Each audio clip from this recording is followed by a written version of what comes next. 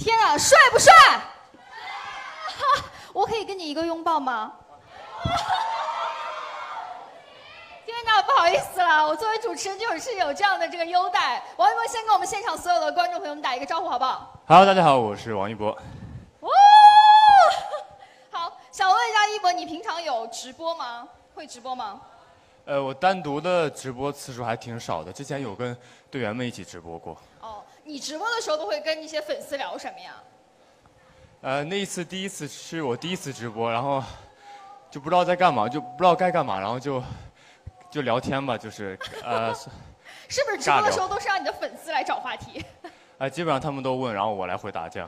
对，因为之前在网上我看过一个一个小的一个小故事啊，非常有趣。说，呃，王一博直播的时候，隔五分钟就跟那个粉丝说：“快找点话题，我们来聊一下，我们来聊一下。”然后那个呃粉丝就说：“哦，你就不用那个什么聊天了，你只要美美的当一个美男子，然后我们在旁边静静的看着就行了。”然后嗖，五十分钟就过去了，大家就要静静的看着你。呃，上次差不多是这样吧，应该。好，那你平常除了做直播，还有什么其他的呃一些兴趣爱好吗？呃，我爱打游戏啊，然后爱骑摩托车。哇，你还爱骑摩托车？啊，对。那你平常都会在哪里骑摩托车？我会去赛道上骑。哇，好厉害呀！就是专业级的那种选手。呃，也不算专业级，就是爱好业余，业余爱好。平常会打一些什么游戏啊？呃，很多游戏，基本上都玩。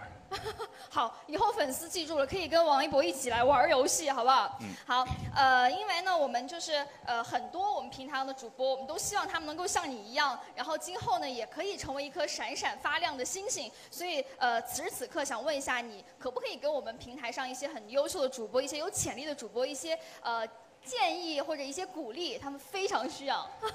我本来就不是做直播跟主播这个专业的，我也不知道该给什给什么建议，但是我觉得，呃，要要要多有意思一些，多多就不能让时间停住，啊，然后多要就充分利用时间，然后不要让整个气氛淡下去吧。我觉得，就整个节目或者是自己说的话要多有意思，多有意思就好了。